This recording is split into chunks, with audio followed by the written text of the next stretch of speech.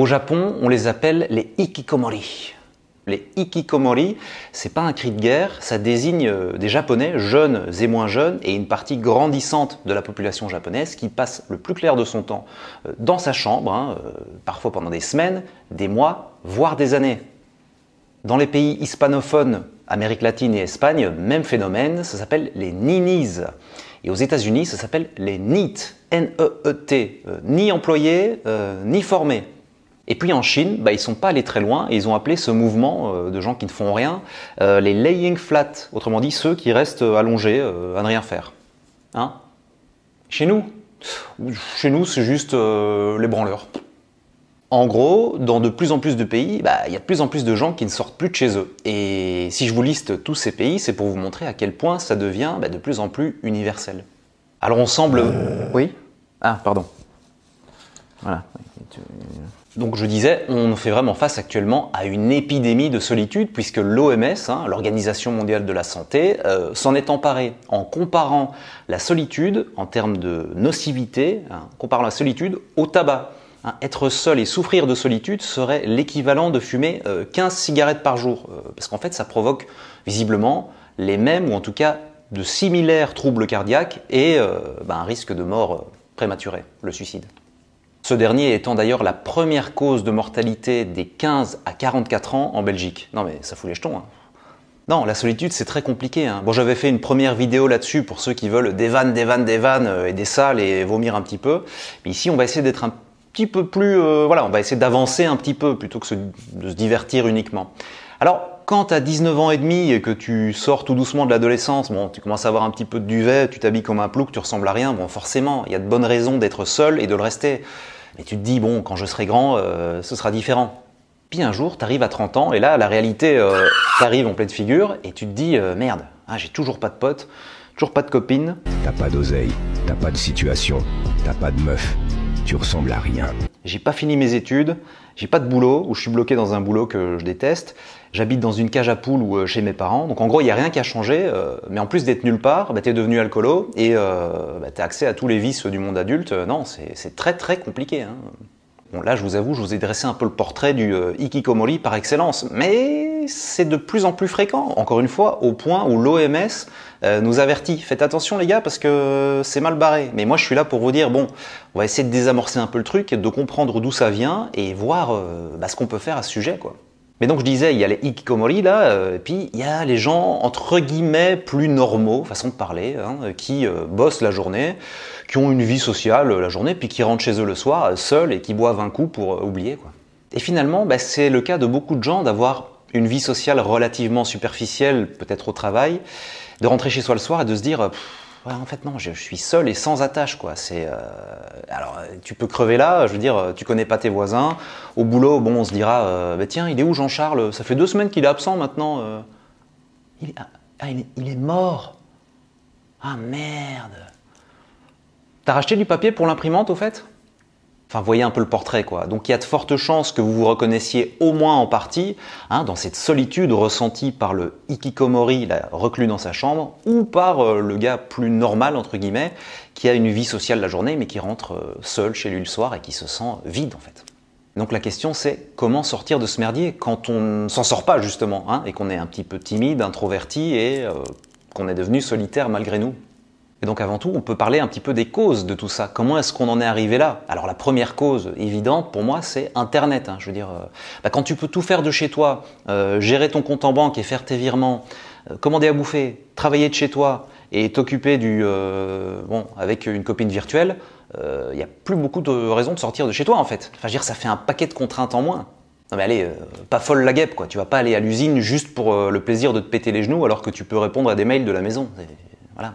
Puis j'allais dire euh, la deuxième cause, mais en fait non, on peut simplement rester sur le facteur Internet, parce que Internet symbolise finalement l'aboutissement d'une évolution hein, qui a commencé, on pourrait dire, euh, au XVe siècle, hein, autour de la Renaissance, par là, euh, qui a accéléré aux Lumières, au XVIIIe, et puis qui arrive à son apogée maintenant, voire dans quelques décennies.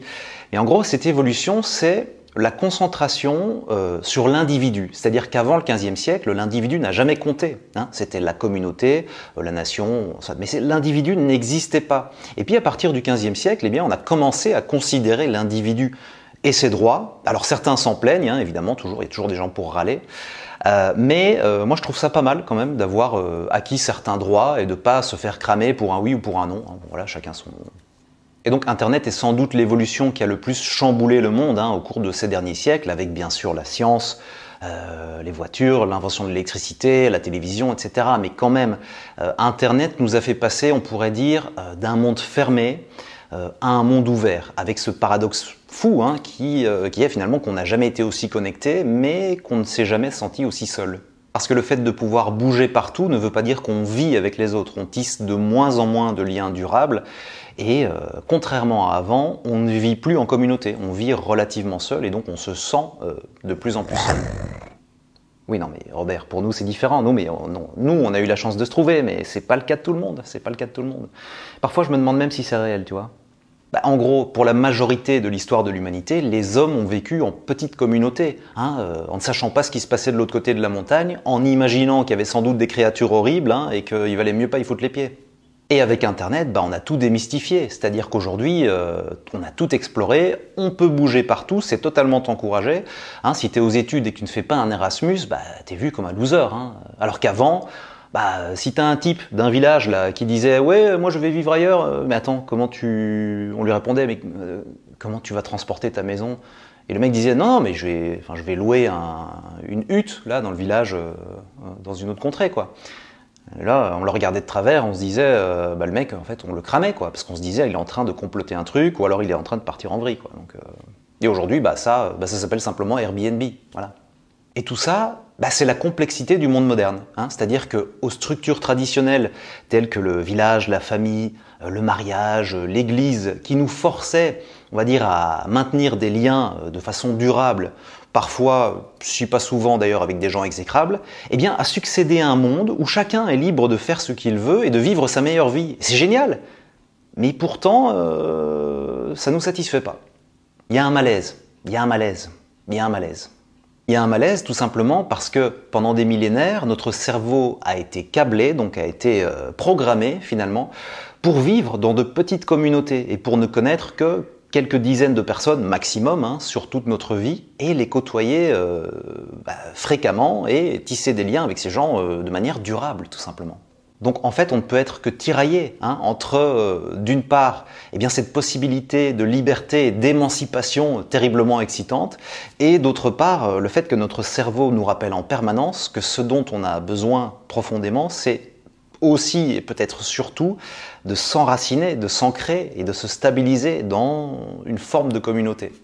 Et c'est pour ça que la vie, notamment dans les grandes villes, peut parfois être terriblement solitaire et c'est aussi pour ça que bah, les applications de rencontres nous frustrent plus qu'elles nous comblent, hein, euh, aux grandes dames de nos parents qui ne comprennent pas parfois qu'on a tellement de choix et que malgré tout on ne trouve pas. Et justement, c'est cette abondance de choix qui fait qu'on est incapable de tisser des liens de, longue durée, puisqu'on se dit, bah, il y a toujours mieux derrière, donc je vais quand même aller voir. Ça fait qu'on tisse un paquet de liens très faibles et très fragiles qui finissent par se briser et qu'on se retrouve euh, bah, seul. Alors que faire à une époque où tout pousse l'individu à s'émanciper et où il ressent ce vide profond hein, de par l'absence d'une forme d'appartenance communautaire? Bah, trouver une forme de juste milieu. D'ailleurs, Confucius disait pas trop d'isolement, pas trop de relations, le juste milieu. Voilà la sagesse. Bon, alors là, je sais que vous allez me dire, euh, bon, euh, les chinoiseries c'est bien, mais euh, balance la formule magique. Bah, la formule, c'est bah, déjà la première chose, c'est de comprendre que on vit à l'époque de la comparaison incessante et euh, voilà, omniprésente. Internet a créé ça et finalement on est souvent probablement moins seul qu'on le pense, mais Internet nous donne cette impression qu'on est plus seul qu'on est en réalité. je ne sais pas si vous me suivez. C'est-à-dire que on peut avoir quelques relations qu'on gagnerait à cultiver, mais Internet nous dit qu'il faut avoir 50 potes, 50 vrais amis, et bah du coup euh, on se dit ouais mais non mais je dois d'abord rencontrer d'autres gens, donc je me sens seul, donc je me renferme, donc je suis une merde, donc euh, voilà non personne n'a le temps euh, de temps à dépenser ou à consacrer, même émotionnellement, à plus de euh, deux, trois, voire quatre amis. Mais même, je ne sais pas comment tu fais. Donc non. Donc commencez par euh, le petit entourage, voilà, la famille proche et peut-être deux amis qui vous entourent et commencez par là. Rappelez-vous en permanence que ce que vous voyez sur les réseaux n'est pas la réalité. J'essaie aussi de me le rappeler tous les jours et c'est important.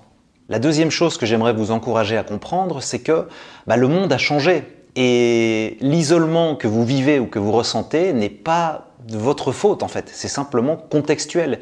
Et comprendre ça permet de se déculpabiliser un petit peu, parce qu'on a tendance à penser qu'on est des losers, des perdants, euh, voire pire, hein, si euh, on ressent cette solitude. Mais déjà, elle est ressentie par énormément de monde, et euh, encore une fois, c'est pas votre faute. Par contre, c'est votre responsabilité de faire quelque chose pour changer, et je vais venir. La troisième chose que j'aimerais vraiment vous encourager à faire, c'est de comprendre que ce n'est ni en lisant, ni en consommant des vidéos YouTube, euh, y compris les miennes, que vous allez changer. Non, c'est en vivant des choses. Le problème de, la lecture et d'Internet, c'est que, encore une fois, c'est une, une source d'isolement et c'est un refuge. Hein, quand on cherche un maximum de livres à lire pour comprendre la vie, euh, non, c'est un, une fuite en fait. Et le problème d'Internet, c'est que vous allez souvent vous réfugier chez des gourous qui vont vous expliquer que les femmes vous détestent, euh, que le monde du travail est horrible et que euh, le monde touche à sa fin. Mais c'est pour ça qu'en tant qu'ancien adepte des théories faciles, je peux vraiment vous dire que souvent on se fourvoie complètement sur le monde qui nous entoure et sur la réalité. Et c'est pour ça que je vous encourage à rencontrer du monde, soit par une formation, par le travail, par des cours de langue. Vous trouverez probablement euh, dans votre ville des cours de langue souvent gratuits, par euh, des hobbies comme euh, des cours de danse, par un sport. Essayez différents sports, vous trouverez certainement un sport qui vous plaît et tout ça créera un cercle vertueux hein, pour vous sortir de cet isolement et de ce film que vous vous êtes monté tout seul. D'ailleurs, petite parenthèse personnelle, j'ai rencontré deux de mes amis les plus proches euh, par ce qu'on pourrait appeler des applications de rencontres, Meetup et TimeLeft notamment. Je vous laisse les découvrir de votre côté, mais c'est vraiment super. Alors, faut le dire vite, hein, mais mon meilleur conseil pour commencer à avancer, c'est euh, bah, commencer par vous déculpabiliser. C'est-à-dire que, encore une fois, euh, c'est contextuel. Hein. votre isolement n'est pas de votre fait à 100%. Par contre, il est de votre responsabilité de faire quelque chose pour sortir de cet isolement. Et c'est tout à fait possible par les manières que je vous ai énumérées. Et croyez-moi, ou pas d'ailleurs, mais quand vous parlerez aux gens, quand vous aborderez des filles ou des garçons, eh bien vous vous rendrez compte d'une chose, vous verrez à quel point les gens n'attendent qu'une chose, euh, la même que vous, qu'on leur parle, qu'on les aborde. Et non, les filles ne vous détestent pas, et non, le monde du travail n'est pas horrible partout, et non, euh, le monde n'est pas à feu et à sang pas plus qu'au cours des millénaires précédents. Mais tout ça, c'est en vivant que vous le découvrirez, pas euh, en théorisant dans votre tête. Oui, je me parle à moi-même, oui. Et pour conclure, eh bien, je dirais simplement que ce sentiment de solitude fait partie de l'expérience humaine et de la nature humaine. Hein, je veux dire, les grands livres religieux en sont pleins, les livres antiques pareil, et euh, bah, je suis sûr que si on pouvait lire avant, euh, ce serait la même chose. Donc en fait, vous êtes normaux, et moi aussi. Ce sentiment de solitude est en fait quelque chose de relativement intemporel et de relativement normal. Il est juste plus visible et certes probablement plus répandu aujourd'hui, mais le corollaire de ça, c'est qu'aujourd'hui, on a des possibilités de réalisation individuelle et personnelle euh, jamais vues dans le reste de l'histoire. J'espère que cette vidéo vous aura aidé. Dites-moi ce que vous en avez pensé dans les commentaires et partagez-moi vos expériences. Je vous dis à très bientôt pour une prochaine vidéo.